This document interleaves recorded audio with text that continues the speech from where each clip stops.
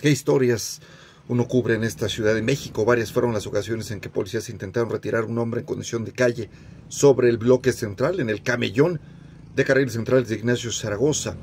Murió junto a Israel un motociclista que no pudo esquivarlo. Este sujeto tenía 40 años de edad y una casita a un costado ahí de las vías del metro de la línea A, a la altura de Periférico Orientes Iztapalapa. Policías comentaron que constantemente los automovilistas lo reportaban caminando ahí en carriles centrales. Y aunque varias veces lo retiraron por su propia seguridad y por la de los demás, siempre volvió a instalarse en la misma zona.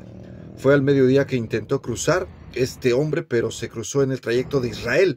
Un joven que trabajaba en la empresa Bimbo conducía su motocicleta para dirigirse a su casa. Israel no lo vio, de repente se le cruzó y lo embistió.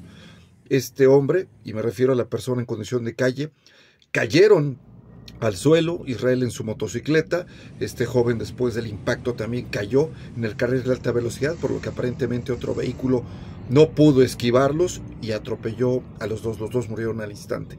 La zona fue acordonada y resguardada, obviamente se complicó la circulación de manera importante hacia el oriente de la Ciudad de México, llegaron los peritos y amigos de Israel que le gritaban, negro, negro, háblame, no puede ser, quedamos de vernos para ir a comer unos tacos varios compañeros de Israel que trabajan en la empresa Bimbo llegaron a llorar a este accidente, pues obviamente iban a trabajar. El hombre, pues también nadie preguntó por él, pero perdió la vida de manera triste y lamentable. Todo por, pues obviamente este, esta situación de cruzarse.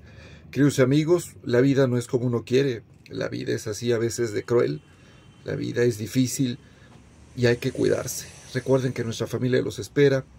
Este joven iba a trabajar y perdió la vida por un hombre que se cruzó de manera indebida. Qué triste historia. Que paz descansen. Soy Jorge, del Diablo Becerril.